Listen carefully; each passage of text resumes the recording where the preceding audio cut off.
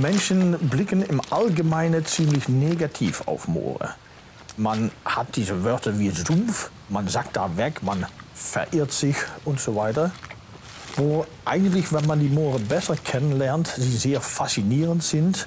Moore sind Landschaften, die Eigenschaften haben wie Organismen. Die leben, wachsen, reagieren und das macht eigentlich ein Moor zu einer der bestentwickelten Zusammenhänge in der Natur. Ah,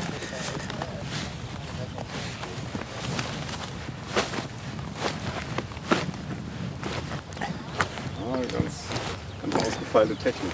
Ja, das ist das sogenannte Bauchen. ich bin Hans Jooste, ich bin Professor für Moorkunde und Paläoökologie an der Universität Greifswald. Die Klimabedeutung der Moore ist vor allem, dass sie disproportional viel Kohlenstoff in sich halten. Wenn man Moore entwässert, wird dieser Kohlenstoff mobilisiert als Kohlendioxid, ein Treibhausgas, und das sind unvorstellbare Mengen. Was hier aus dem Boden kommt an CO2 pro Hektare, das entspricht die gleiche Menge an CO2, als dass man mit einem Mittelklassauto 135.000 Kilometer fährt.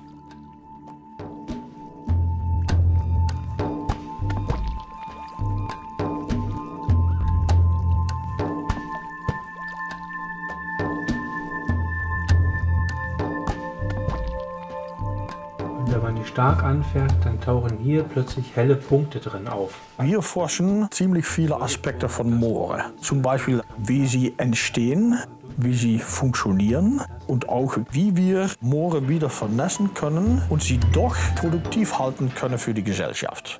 Das sind die sogenannten Paludikulturen. Das Spannende an Paludikulturen ist, dass es eine vollständige Änderung von Denkweise ist. Unsere Landwirtschaft stammt aus dem Mittelosten, aus einer sehr trockenen Landschaft. Und diese Denkweise, die dort für tausende Jahre entwickelt sind, sind ohne Rücksicht angewandt auf nasse Landschaften wie Moore, die dazu natürlich trockengelegt werden müsste. So das Denken in nasse Landwirtschaft steckt nicht in unsere Gene. Keiner weiß, welche Pflanzenarten man da richtig für nutzen kann. Und das ist, was wir alles versuchen zu forschen eine neue Landwirtschaft zu schaffen, die produziert, ohne Schade anzurichten.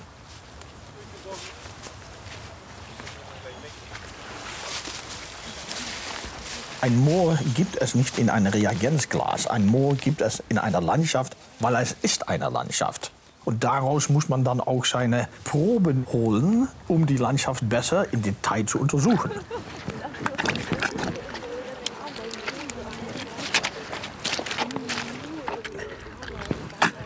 Als Wissenschaftler wird man oft abgebildet als steril im Weiß und ich bin gern dreckig.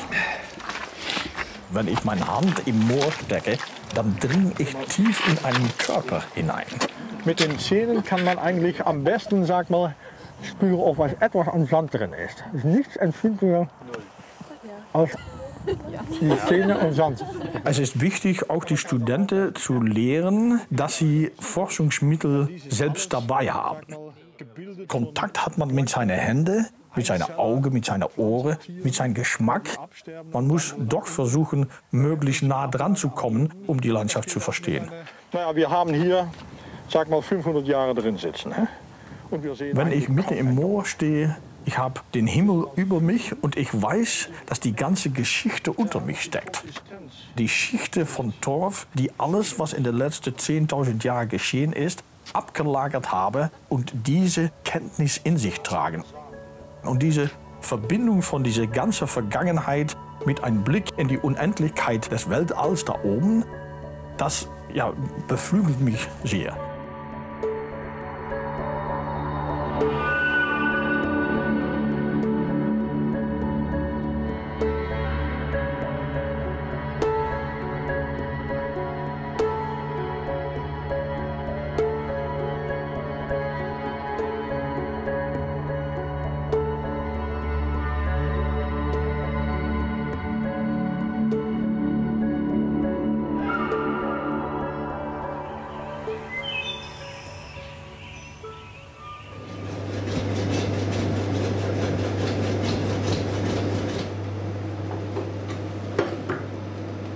Wissenschaftler werden getrieben durch Neugier.